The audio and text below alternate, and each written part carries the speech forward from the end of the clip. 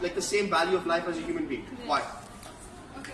so it cannot survive without them all, right? So what we believe as being, so it's not an independent life form, right? So it depends on a certain other human being for things like nutrition, for its basic survival. So how can you just call it like, you know, something that has the same value as? Okay, sure, so say something. Wouldn't that also be true for a newborn baby? Agreed, right? But these people, like, that person can